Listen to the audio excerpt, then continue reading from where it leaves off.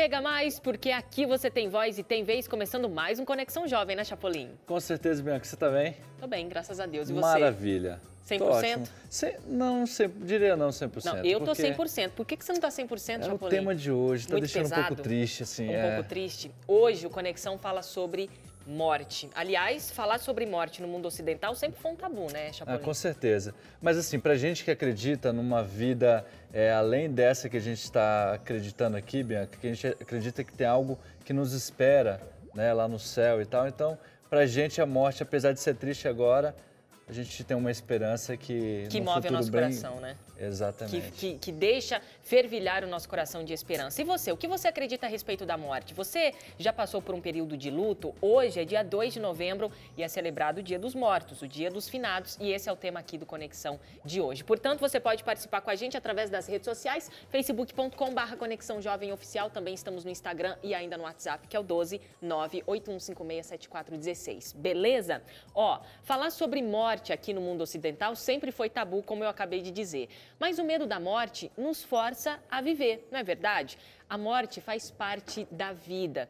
Todos começamos a morrer exatamente no dia em que nascemos. Segundo o famoso psiquiatra Sigmund Freud, se você quiser suportar a vida, prepare-se para a morte, é o que ele diz. A morte preocupa todo ser humano a partir do momento que toma conhecimento dessa dura realidade. O que você acredita a respeito da morte? Diz aí.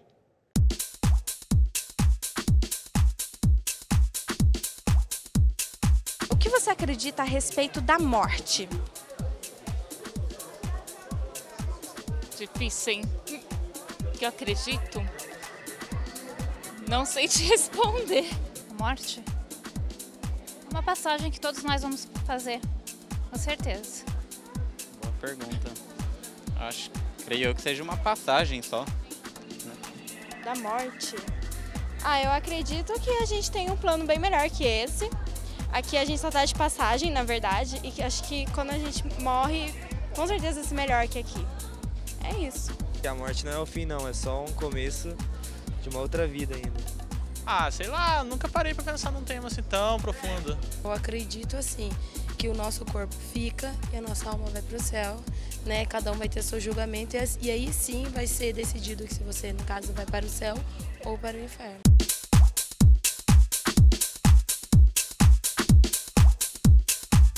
Você acha que a morte é o fim mesmo da vida ou que existe algo além disso? Ah, pode existir algo além, né? Assim, que é, seria.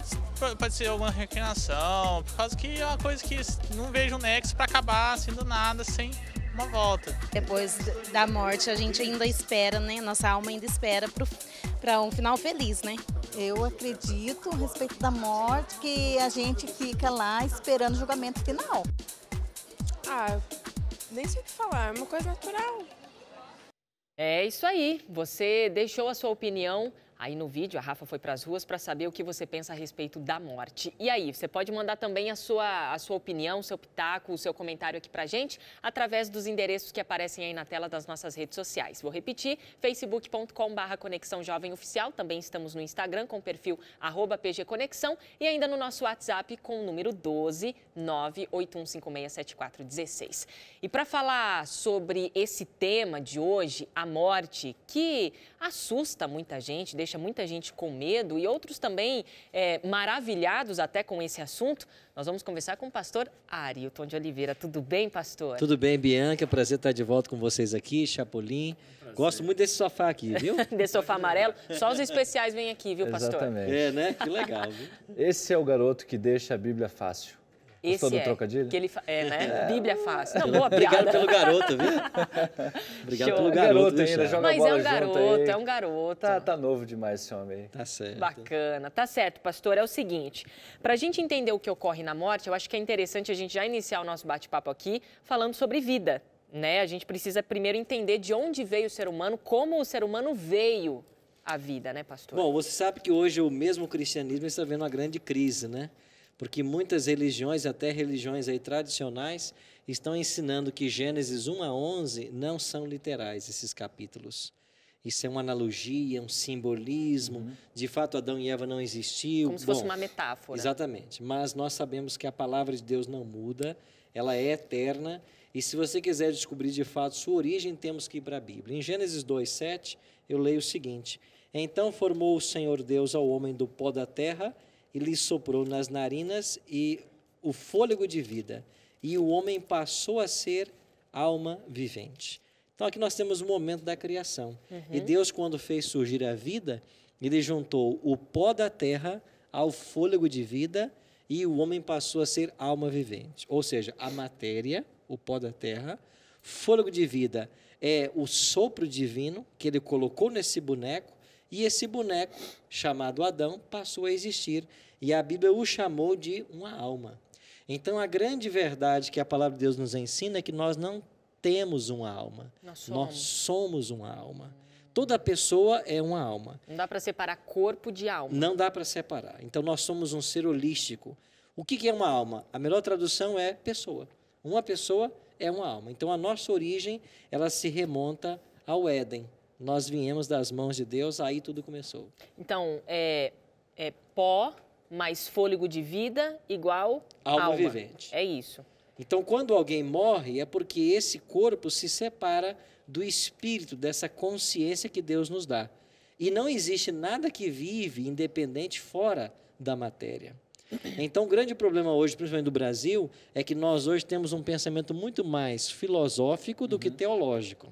Porque essa ideia de alma como o brasileiro enxerga, isso aí é um dualismo platônico. Platão, que foi um filósofo grego do quarto século antes de Cristo, ele ensinava que o corpo é a prisão da alma. O corpo é mau, a alma é boa. Quando a pessoa morre, a alma se liberta do corpo. Daí vem o dualismo platônico, corpo e alma. Mas a Bíblia não ensina isso. Teologia ensina que todo ser humano é uma alma. E essa alma é a junção do que Deus soprou em nós, que é essa consciência, com esse corpo físico. Isto é uma alma. Quando uma delas se, Se se, se- acaba, Acabou a acabou existência. tudo, né? Nada existe o fôlego independente. volta para Deus, que seria a vida, e Essa o corpo, a né? matéria, se Volta decompõe pra na terra. terra. O que volta para Deus, então, não seria um espírito. Nada consciente. É simplesmente a vida que ele colocou no homem, isso volta para o poder dele. Mas não é nada consciente. Ok.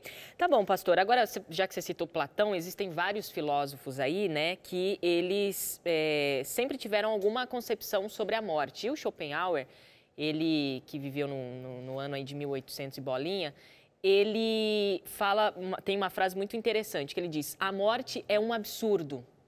E essa época do iluminismo, que a gente conhece muito bem, onde o homem era o centro de tudo, onde ele tinha razão de tudo, para eles a morte sim era um absurdo. E eu queria que você colocasse aqui para a gente entender um pouco a concepção de morte nas antigas civilizações, não só agora do iluminismo, mas que os gregos, por exemplo, os egípcios pensavam sobre a morte. O que é engraçado nas civilizações antigas é que todas elas têm uma conotação de vida após a morte.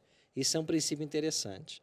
Você vai ter algumas culturas onde, quando uma pessoa morria, eles colocavam duas moedas nos olhos das pessoas, porque essa era uma taxa que ele deveria pagar a um homem que tinha um barco da morte para conduzi-lo à vida tudo mais. No- os egípcios, por exemplo, quando eles embalsamavam seus reis, eles não, não só os embalsamavam para proteger, né, mesmo após a morte de algum espírito mal, mas colocavam também alimentos, porque a pessoa, se tivesse fome, ela poderia se alimentar. Então, todo mundo tinha uma noção de que havia vida após a morte, mas essa noção ela estava descabida do que a Bíblia ensina. A Bíblia ensina que há vida após a morte, mas esse plano de vida só vai acontecer após a volta de Cristo. Agora, eles, eles ah, desenvolveram diferentes crenças a respeito da morte. E a mais comum hoje no Brasil, que veio do- dos nossos antepassados, é essa ideia de que você, quando morre, você se reencarna. Você vai para uma outra pessoa. Um outro ou animal um também, outro- né? até, no- até pode ser num outro animal, como uma penitência por uma vida que você não teve tão honesta, assim, tão boa. Outros vão ensinar ainda de que você tem que passar por um local chamado purgatório para purificar das suas más ações e te dar direito ao céu. Ah, então trabalha-se o conceito de céu, terra Inferno. e inferno. Bom, isso foge à Bíblia, isso é mais filosofia e história do que Bíblia. Foi passando de geração em geração, né, pastor? Umas co- coisas, por exemplo, lá do Egito, tem resquícios ainda hoje, Ainda né? hoje. De, mi- de misticismo, essas coisas. Hoje o pensamento moderno parece que é uma mesclagem, né? Uhum. De tudo que se viveu no passado. Aí cada um aponta numa direção e hoje na mente do brasileiro é uma verdadeira confusão a respeito da morte. Agora, pastor Hilton, tem como a gente ter uma ideia mais ou menos de como isso surgiu no passado? Porque assim, se a Bíblia ela começa com a criação, essa história ela deveria ser passada da criação pelos seus, é, seus parentes, que, as gerações futuras, né? Mas o que a gente vê é uma distorção né, da criação e da morte também.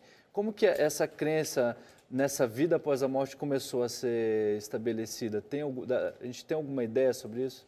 É, é, você falou sobre essa tradição oral, isso era muito praticado entre o povo de Israel. Né? Eles chamavam uhum. isso de Pirkeabot. É, esse Pirkeabot é essa tradução oral. Então, o pai passa para o filho, que passa para o neto, para os bisnetos. Então, todo mundo tinha esse conceito correto da, a respeito da morte, uhum. encarada sempre como um sono. Tanto é que a Bíblia usa esse adjetivo é o adjetivo mais usado para falar de morte. É Daqui sono. a pouquinho a gente vai querer saber por Mais quê. sobre isso. Então, esse é o adjetivo comum uhum. usado. Agora, muitas culturas se afastaram da Bíblia. Você sabe que a palavra de Deus, desde o Gênesis, já apresenta os filhos de Deus e os filhos dos homens. Lá você já tem uma, uma descendência de Caim que começa a se afastar do Senhor. E esse povo que se afastou do Senhor, ele acabou caindo na prática de de certos rituais que uhum. satisfaziam mais ao anseio do coração humano do que a verdade revelada na palavra de Deus. Culturas pagãs começaram a surgir. Então, desde o Egito, por exemplo, que escravizou o povo de Deus 400 anos, você já tem um desenvolvimento de uma linha completamente diferente da Bíblia com relação à morte. A construção das pirâmides do Egito, por exemplo, Aquilo foi construído como um, um monumentário às pessoas que morriam. Né? Lá se sepultavam os grandes nomes uhum. da história. Então se desenvolveu toda uma cultura da morte, da morte, da morte, diferente do que a Bíblia uhum. ensina. Bom, esse afastamento ele foi ao longo dos séculos, né? E, e, não tenho dúvidas de que o diabo foi disseminando essas ideias, essas teorias, justamente para nos afastar do tema da morte como a Bíblia apresenta.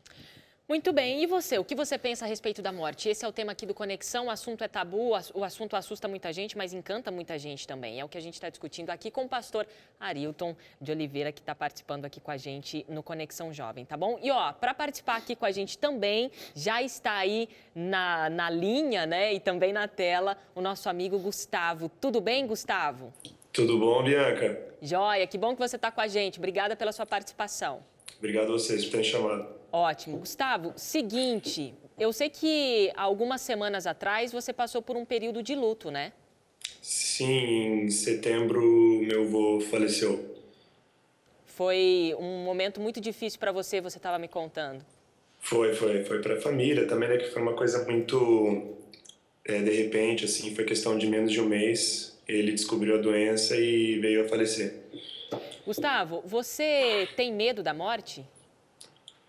Medo não, não diria medo. Eu tenho mais é, um receio, ou sei lá, é algum sentimento ruim por causa da, da perda, né, da, do contato com a pessoa, enfim. Eu, particularmente, eu não tenho medo de morrer. Uhum. Não é uma coisa que eu tenho, sim. Uhum. E você disse para mim, é, em off, a gente estava conversando hoje pela manhã, que você é, não, não recebe muito bem essa questão da morte, não gosta de falar sobre o assunto e tal, diz que tem é, um certo, uma certa complicação com esse tipo de, de assunto, né, Gustavo? Por quê? Ah, é que eu falei agora, é, essa questão de essa separação que é muito, acho que é a separação mais radical que existe, né? Acho que eu não consigo absorver muito bem essa ideia de você nunca mais ter contato com essa pessoa e nunca mais vai falar com ela e acho que ninguém está preparado para isso, né? Eu só que eu nunca fui fã assim, particularmente de ou adepto de ir em velório, essas coisas assim, porque eu não, não gosto muito mesmo dessa essa noção, dessa ideia de separação. Uhum. Agora, Gustavo, é, há uma esperança, né? Algo especial que motiva o jovem cristão em relação à morte, não é? Fala um pouquinho Sim. sobre isso para gente. Não, é, se não tivesse esperança, é, eu não sei também o que, que seria da gente, o que seria de mim, né? Mas desde cedo, né, eu sou é, cristão de berço, adventista de berço, e eu sempre tive muito clara essa noção do que a morte significa para a gente, nessa né? esperança que nós temos, que, que é nada mais nada menos que um descanso, né? Que é uma consequência do pecado, foi a, a grande consequência do pecado, a do pecado, que é o que separou a gente de Deus lá no começo, lá no Éden. E só que lá, no, lá mesmo no Gênesis, no começo, já foi traçado esse plano da salvação para acabar com a morte. E essa é a esperança que eu tenho que todo mundo tinha que ter, que na verdade só foi uma separação momentânea que logo mais a gente vai estar reunido com os nossos nossos parentes, nossos amigos, né, as pessoas que a gente gosta tanto. E isso conforta o seu coração em relação ao seu avô, por exemplo, né? Muito, muito, muito, muito. Tem aquele pesar, né, que é, logicamente sente aquela tristeza por você não vai encontrar mais, você não vai poder conversar mais, dar risada junto, mas eu acredito que eu fico muito mais tranquilo do que se eu não tivesse esperança, com certeza. Muito bem. Gustavo, obrigada pela sua participação aqui, tá bom? Gente De espera nada. você em outra, outros programas aqui do Conexão. Valeu. Valeu, Bianca, até mais. Um abraço. É, Pastor Arilton, por que, que a galera tem tanto medo da morte, na sua opinião? Eu acho que o principal fator foi o que ele mencionou aí, né? Às vezes do desconhecido. A gente, quando não conhece muito bem, a gente teme. Ele, como já nasceu num berço cristão, ele disse: não, não tema a morte. Porque ele sabe o que vai acontecer depois. Bom, você quer saber como é que é a vida de casado? Pergunte para quem já casou, né? Ele vai saber. Como é que é a vida de. Como é que é ser uma pessoa rica? Tem que perguntar para quem é rico. Quem, quem é pobre não vai saber responder. Como que é, Bianca? Como é que é? eu não sei responder porque eu não sou rica. Você quer perguntar como é que é ser pai, né? Tem que perguntar para quem é pai. Aí, aí você não tem quem morreu e voltou para perguntar como é que é a morte. Então surge um monte de teorias, mas de fato nós temos alguém que morreu e voltou para contar. Esse é Jesus. Ele morreu, ele voltou. É por isso que ele tem todas as respostas.